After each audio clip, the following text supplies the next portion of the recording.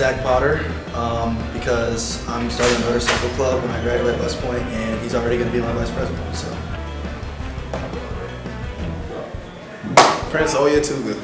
Uh, if I was president, I would probably pick Clay Barton, just because he's like my best friend on the team.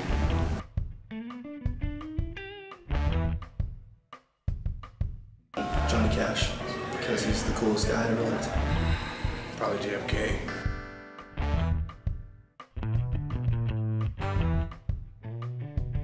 Nineteen eighty-five, because that's just a rad time, and I like the way they dress, and I like the way they did things. Uh, probably 1986, 1985. I'd say definitely 1969, just because when they first reached the moon, it's like one of the coolest things that's ever happened.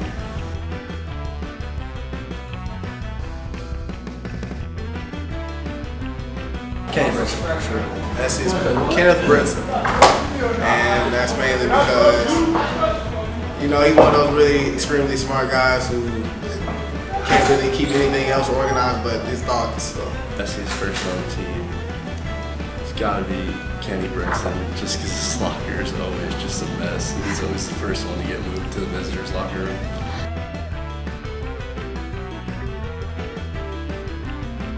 Cole Christensen definitely like Channing Tatum. no, but like you said, I like O'Brien.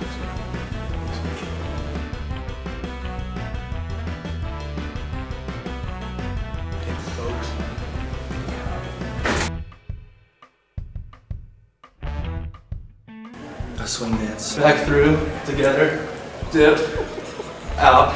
And that's how we do it.